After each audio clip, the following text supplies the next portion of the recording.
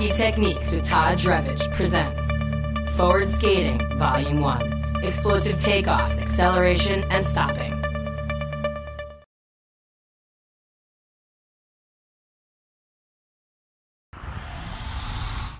Now, you know how to stop on one foot. You know how to get the quick three steps. You know how to open up the hip. Now let's put it all together. I like to use the circle. We'll do a couple quicker drills later on in the video. But right now, let's still take it a little bit slow, but let's use again my visual, Straight line, that's what I want to use. I'm going to skate straight down the red line,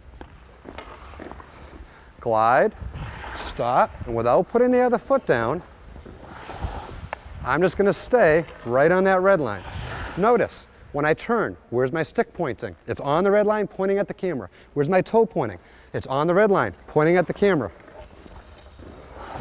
That turns my hips and my shoulders. If I put my head down, my foot comes out. Again, remember to keep that chest up, head up, foot under the body. Now, we did open up takeoffs earlier in the video. You can use them during breakouts, you can use them during regroups, you can do if you're a center, a winger, or defenseman. We're gonna show you a drill right here. What this pad is, the reason I have the pad, it's the net. What you're gonna be, you are, as the viewer, you're the defenseman. The defenseman's planted behind the net. Good place to be, because you want to use the net to your advantage, but that's a different video altogether. We'll get to that later. Now, we've got the puck. As a player, it may happen, but you want to try not to turn your back on the puck. If I turn my back on the puck, how do I know if it gets past me?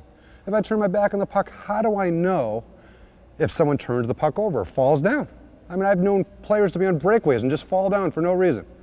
All right, Dennis does it all the time, by the way, but don't tell him I told you that. All right, we've got the puck right here. Now, the puck is behind the net.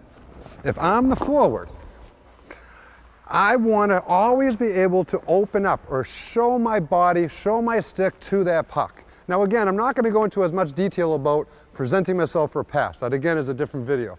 But I want you to notice the takeoff. We're going back to that open up takeoff that we worked on. That's where I came in, I didn't cross my feet over because I don't want to commit myself in one direction.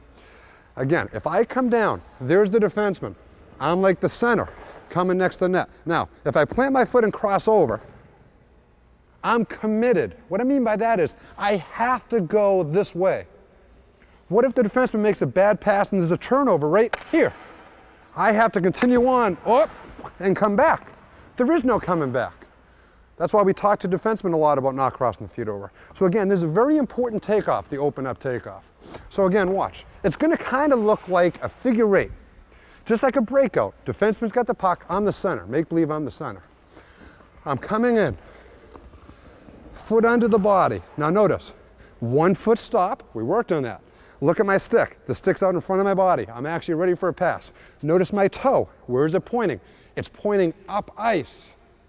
It's not pointing back at the defenseman. I'm not turning around and gliding. I'm right here, it's turning up ice. Now I've got the weight to step off of this foot right here. Oh, that hurts. Okay, this foot right here, I push. Now I've got the motion heading up ice. Let's try this whole drill all in one sequence now. It's a great drill. You can actually add passing to it to work on multiple skills. Let's come down.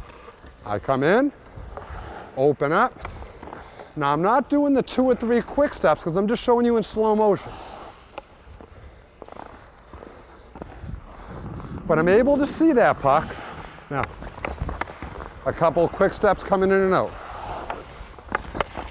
Couple quick steps coming in and out.